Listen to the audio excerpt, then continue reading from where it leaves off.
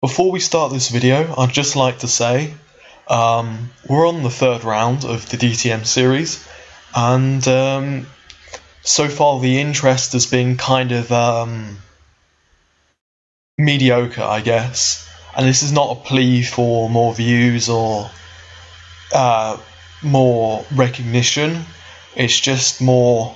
I want to hear your opinions on the series to know what I can do to make it better for everyone. And um, yeah, I'm constantly working on making all of AIRS as good as I can. And so any constructive feedback is really appreciated. Anyways, on with the video.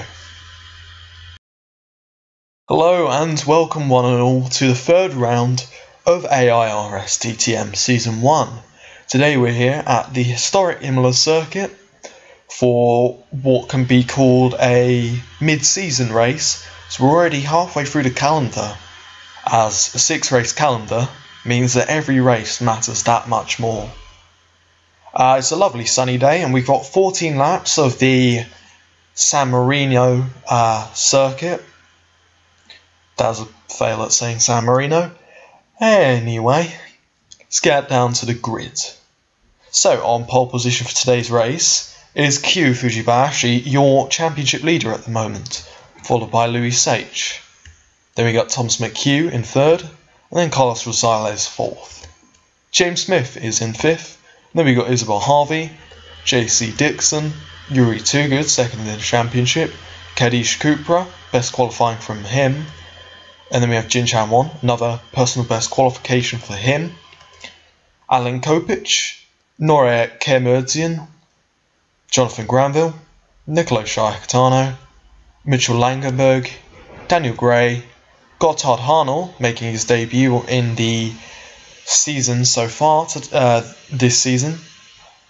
Finley Taylor, Alex Cajones Sr., Jensen Booker, Wolfram Schock, another debutant, Armani Risotto, Simon, uh, yes. Joseph Murray Sr., Matthew Barton, Rudolf Schalter, Alex Portland Wilson, Yaya Tunde, Jurgen Noske, TJ Nisbet, Baba Tunde, and Juan Luis Ramirez rounds out your grid for today's race. And without further ado, we're going to watch for the lights as here we go. So the setting of DTM for today as we're going to watch for the lights. And we're green and it's a good start from Fujibayashi and it's a good start from Sage, but Thomas McHugh has possibly made the best start of the top three as they're blasting down towards turn one right now as we get a nice bit of lag.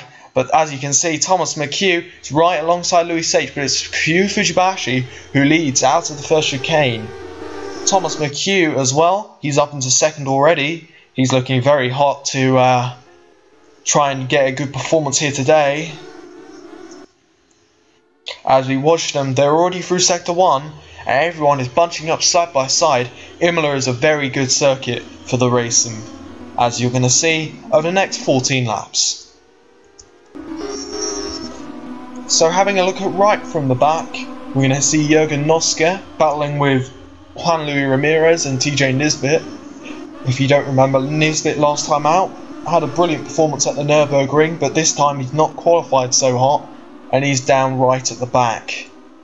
And going up the order, we got some bigger names in the series like Simon Kay, another guy that's been performing very well at the start of the season.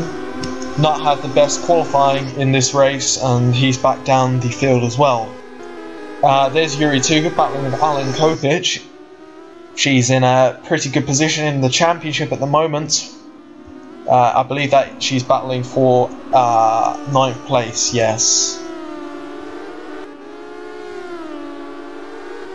As we're watching Kadish Kupra, the uh, Pakistani driver, hounding the back of the Luxembourgish driver.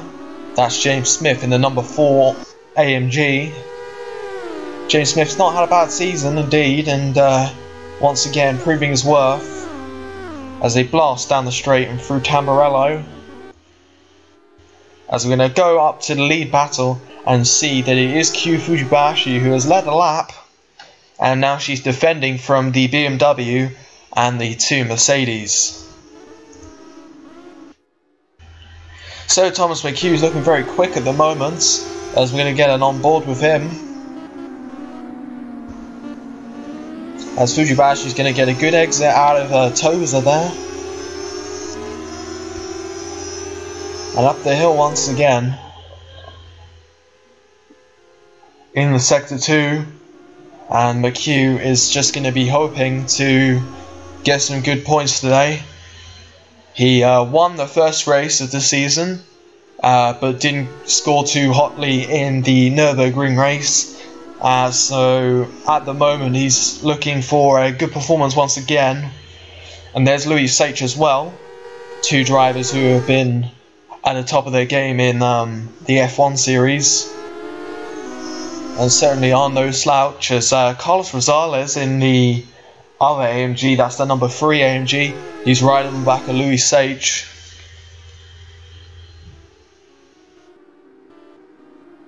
As Louis Sage is going to dive underneath Thomas McHugh, and Isabel Harvey's thinking of having a go on Rosales as well. As we watch them all go past. It's kind of hard to see, but it looks like Carlos Rosales has managed to defend, but Luis Sage has managed to retake second position. However, this allows Kyu Fujibashi to get away. She's got a 0.8 second lead.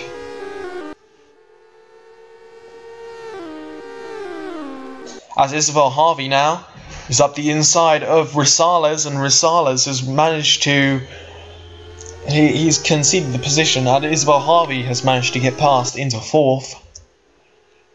And up front, though, it's McHugh, Sage, and Fujibashi who lead. So we're going to try a different camera out, as we have this nice camera on his uh, side, as we're going to see him almost hitting the quarter panel, the rear quarter panel for Louis Sage's uh, Zakspeed. But as you can see, the number 14 Schnitz uh, BMW of Thomas McHugh is right on the back of the leading two.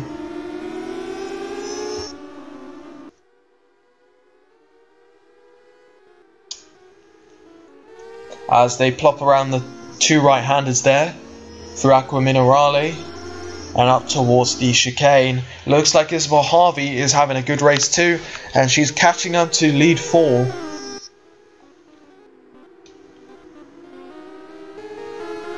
Blasting through the chicane now. Uh, let's have a quick look at who has the fastest lap of the race. It's Jin Chan Won at the moment, as we are on lap 3 of 14, about to enter lap 4. And the top three are really, really close, as here comes Thomas McHugh. Is he going to try and go around the outside? He tries, as Rosales gets on two wheels there. That was a bit scary there from uh, the AMG driver. You can tell he's right on the edge.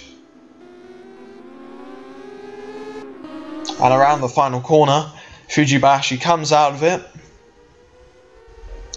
and leads across the line. So, so far, Kyu Fujibashi is putting up a good fight and maintaining that lead. But Louis Sage is right on the back. He's getting very hot into that corner and he's managed to slow it down. And he's carrying that momentum. And it's not going to be too long before we see Louis Sage perhaps making a move for the lead on Fujibashi.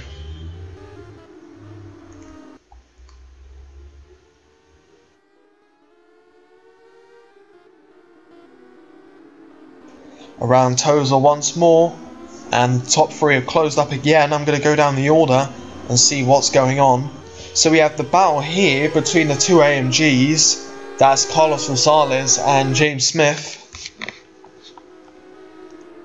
JC Dixon, he's running 7th, and Kadish Cooper in the final points paying position in 8th. Yuri Toogood is in 9th, followed by Alan Kopich and Nora Kermertian. Back a little bit more, we have Jonathan Granville battling with Langenberg and Jin Chan Won and Nicolo Sciacatano, as that's Mitchell Langenberg getting uh, Getting sideways out the corner, he's going to lose positions. I think he's going to lose two positions to, to the cars around him. Albeit Mitchell Langberg's actually just barged Sciacatano out the way. And he's uh, maintaining his 14th position. And here comes Norea Kermurdzian underneath Alan Kopich. And uh, it looks like it's going to be a defensive line into the second of the two right-handers. And indeed, Norea Kermurdzian has defended nicely.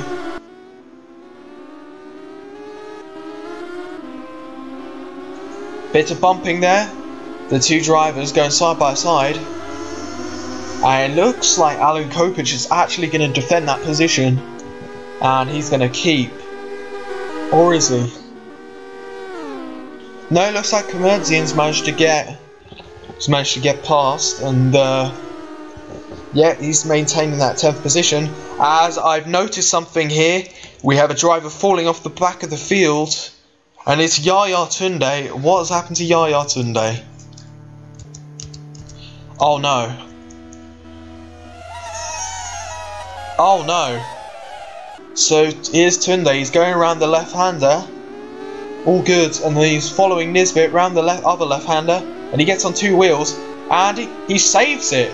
He gets on his side, but manages to save it, uh, but spins it because of the momentum switch, and uh, yeah, he's just been stuck in the wall, trying to get going again. Perhaps his reverse gear wasn't working too well, and uh, yeah, poor Yaya Tunde, he's way off the back now, and that's going to be where he finishes, unfortunately. Up front, though, is Kyu Fujibayashi once again, who is taking that lead and defending for her life. But here's Louis Sage, he's having a look up the inside there. That's a that's a opportunistic place to try and overtake her driver.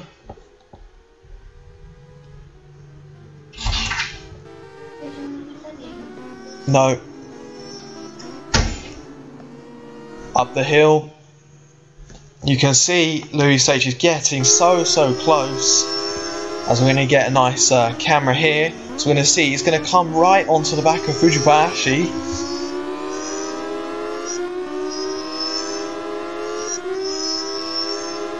But I would say I'd try and put a move into this left-hander. Let's see what he's going to do. No, he's going to run right into the back. He's going to give him a bit of a bump. And in fact, he has got past Fujibayashi. Uh, that was the move he really needed. And Louis Sage runs into the lead. As they all pass through this section, it is really a six-way battle.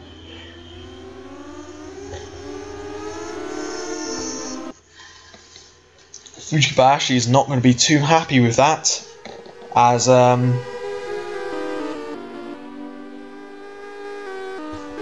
Yeah, indeed, she's not going to be too happy that she's been bumped out of the way. As I'm just having a look here, it looks like Yuri Tugin has managed to get into the points. But up front is a huge battle for the lead. As we're going to go on board with Luxembourg's uh, most talented driver in the AIRS series, or Luxembourg's only driver, James Smith. Right on the back of Carlos Rosales. And they go up the hill, and uh, these cars with not so much power, not so much grip, makes for a nice just bit of touring car racing. As Smith gets a little bit wide, and that's perhaps going to allow Kadish Cupra to get a little bit nearer. As they head in here, he makes a brilliant move on Carlos Rosales. I think he's going to block pass him. He does. That's a good move from James Smith. He's up into fifth position. But up front, Thomas McHugh fighting Kyu Fujibayashi, and Kyu Fujibayashi is defending from McHugh, but attacking Louis Sage in the meantime as really the ideal situation is to front run these races as Fujibayashi gets locked up into the corner but she's cleanly made that move and here comes Thomas McHugh. I think Louis Sage was just a bit conservative on the brakes and now he has lost two positions as James Smith is up into fourth position now after overtaking uh, Isabel Harvey. So your new race leader is one that you've seen before it's Kyu Fujibayashi who takes the lead of this race. As they head down the down the straight and into the first chicane. Fujibashi really having a go here. And uh, trying to break away because uh, these cars tend to run in packs like this, and once you're off the back of a pack, then you really can't catch up too easy.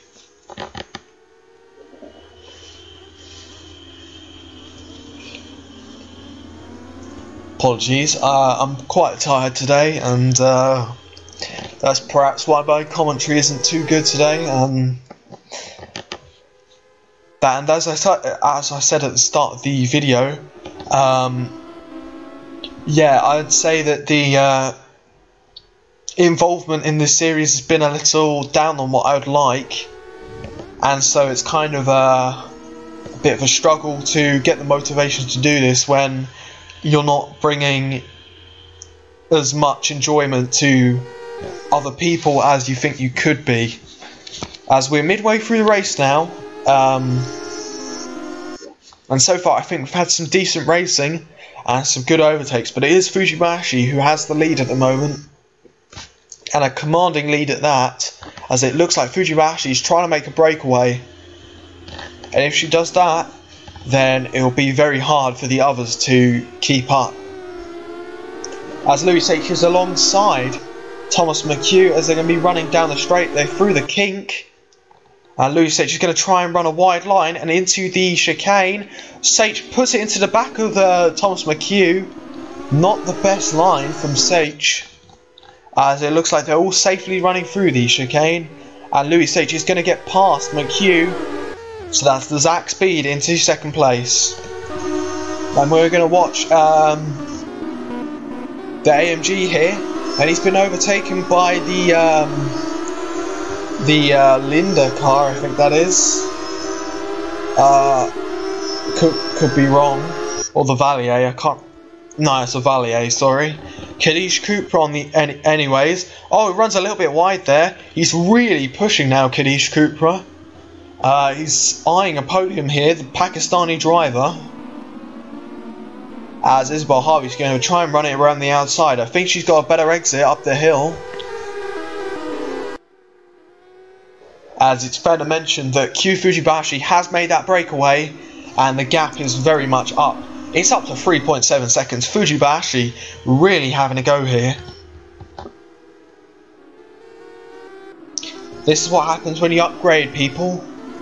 You just generally are going to be in the better half of the grid and you'll start to see that more and more across the season. Perhaps by the end, it'll be the usual suspects once again who are battling for those wins and stuff.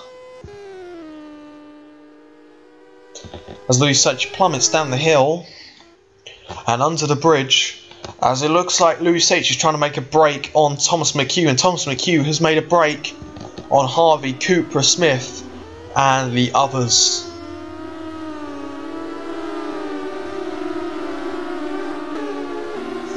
As let's get uh, on board with Norer Kamerdzian. What kind of on board shall we get from him?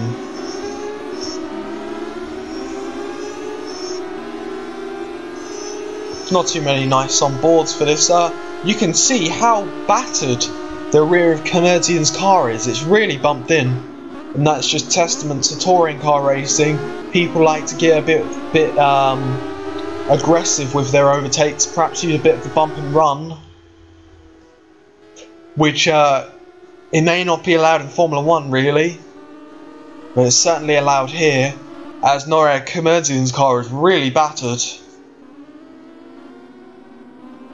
As we're on lap 9 of 14 now, Alan Kopich makes a move on JC Dixon. And Kadisha Cooper is in 5th now, as Harvey is trying to catch uh, McHugh. Uh, Harvey and McHugh, good friends. Um, yeah, I mean, and both of them very good drivers in Formula One. They've got very commanding seats, and um, yeah, they're very involved in the running of AIRS, and uh, they're doing a good job here today. Positions three and four uh, Isabel Harvey is doing a doing a stellar job, and so is McHugh, and uh, So is Seichi and Fujibashi, and Fujibashi's been caught here a bit by Louis Seichi. So although Fujibashi made that breakaway, it looks like Louis Seichi has responded with some good lap times, and that means that Fujibashi has been caught slightly, and we may see Seichi right on the back of the Machons driver very shortly.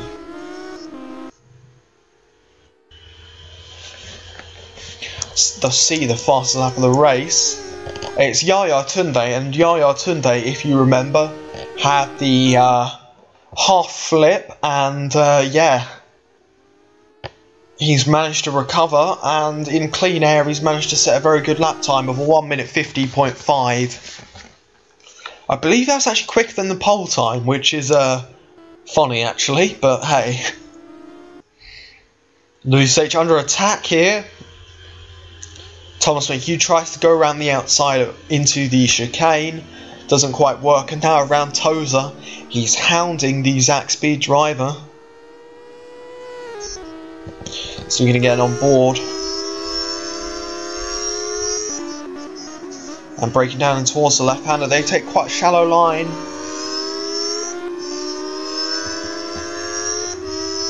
And as you can see, that BMW's right on the back.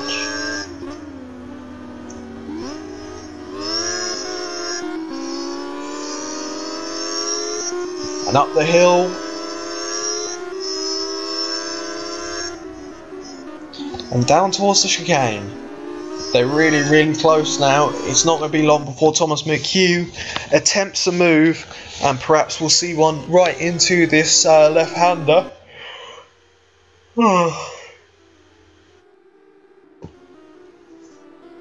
Doesn't quite work for Thomas McHugh. He stays in behind. As Louis Sage, you can see there, he was getting a little bit sideways as we're about to enter lap 11 of 14 we're over two thirds race distance now. As McHugh tries to get a better exit, I don't think he has. And it looks like Fujibashi's really bringing out that lead once again. As we're going to go right around to the back and see where who's where. As James Smith is now taking the fastest lap, by the way.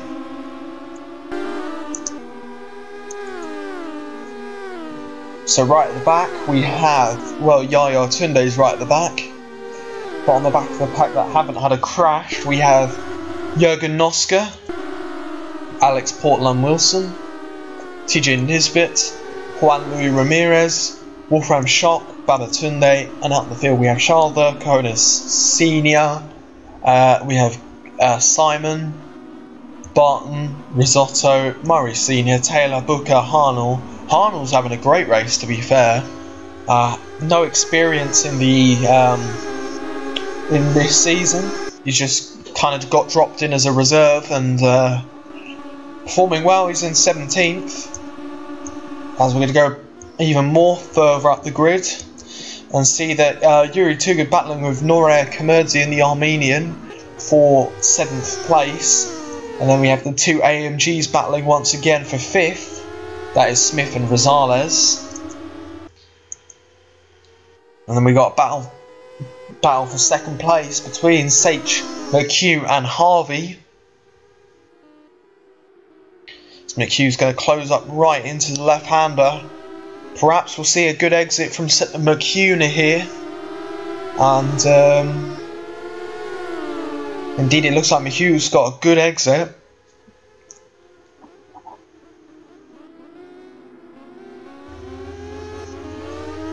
In fact, it doesn't look so good as Sage has got an even better exit.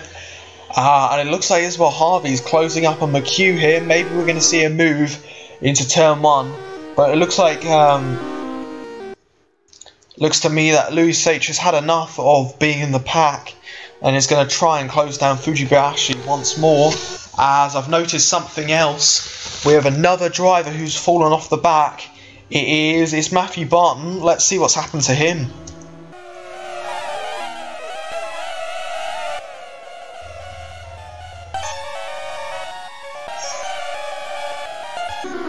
Okay, maybe we've gone too far back now. But as you can see, Matthew Barton is battling with his teammates. So there's a driver off in the background. Let's try and see who that was. Oh! What's happened there? Oh, Mitchell Langenberg. Sorry, I need to work out what's happened here. So Mitchell Langenberg has come around the left, and yeah, he's gone on the curb and he's gone on his side, much like what Yaya Tunde's done. And uh, yeah, he's just spun. Oh, and he's rejoined badly. He's absolutely clouted Matthew Barton, and uh, yeah, that's really bad for Mitchell Langenberg. That's a penalty coming his way for sure, and that's going to have to be decided after the race. I don't think that's going to be a disqualification for the uh, Belgian, but that's certainly not good, and uh, Matthew Barton has certainly taken a huge hit.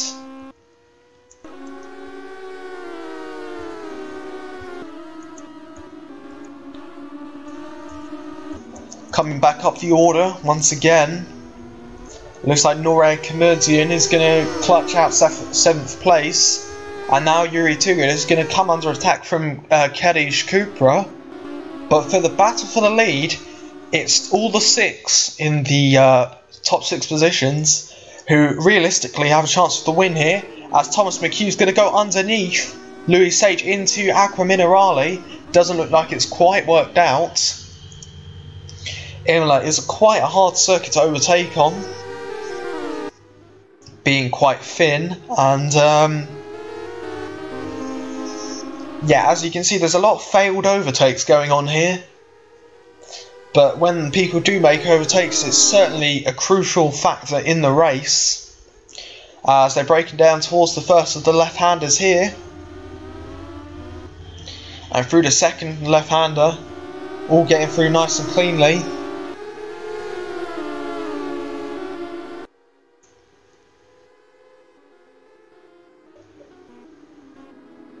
And through the left, through the right, and ending out the lap, we're going to be on lap 13 or 14, the penultimate lap of the race.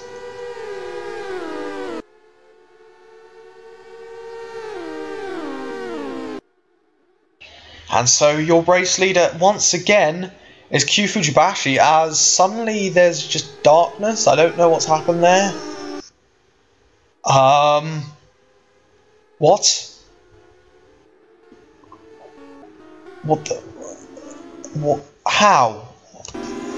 Alright, I've worked out. Uh, you know what? Never mind. Forget the darkness. I have. I've had an idea on how to combat that.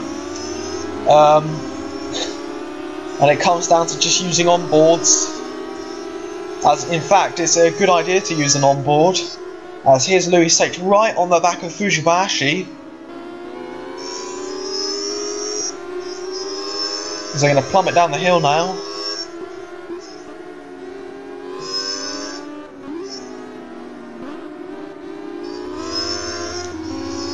And in fact, it looks like uh, Louis Sage, albeit was close, is now dropped off.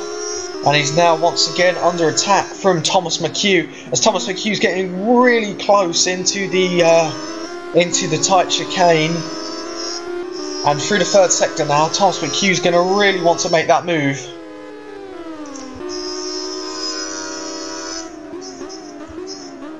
As we're looking right on the back of McHugh now.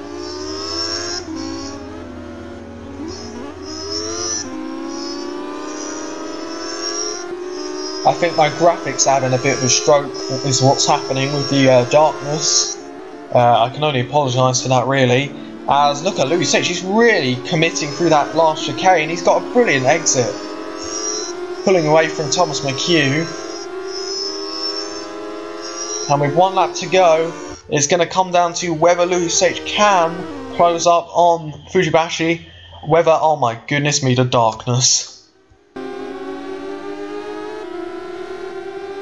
And he's really on the back now. He's closing, closing. And Louis Sage now is really, really close. Perhaps we'll see him move into Tosa here. He's really close on the back. He's going to have a look at the inside. He's going to give it, give her a little tap. Fujibashi knows he's there, gives him the room. Blocks him off once again as they plummet down the hill and into the left-hander here. Sage feathering his throttle and he's going to come down the hill. Fujibashi is doing everything she can. We're going to get on board with uh, Thomas McHugh here. As Louis Sage is still on the back of Fujibashi. And that's allowing McHugh to close up now. We have a three-way battle to lead, perhaps even more. But it is looking like uh, Fujibashi is going to close it off. She defends through the chicane. Uh, Lucet doesn't make the best of exits.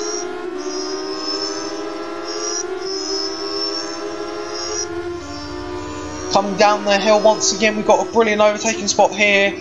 As Louis said, she's going to brake really, really late. He couldn't really brake much later, but Fujibashi made a brilliant exit. and they all get through there. But it looks to me that Fujibashi is going to get her second win of the year as they're going to come around the final chicane. And Kyu Fujibashi comes out of the final chicane, out of the darkness, and she's going to win the Imola race. What a brilliant performance from Fujibashi. She puts her lights on, probably rec- uh, recognizing the win. That is a brilliant result from Kyu Fujibashi in behind Louis Sage. And James Smith actually gets third place in the end, followed by Thomas McHugh, who loses his podium on the final lap. Then it's Isabel Harvey and Yuri Toogood. Yuri Toogood got past Norea Kemertian in the end, and Carlos Rosales rounds out the points finishers.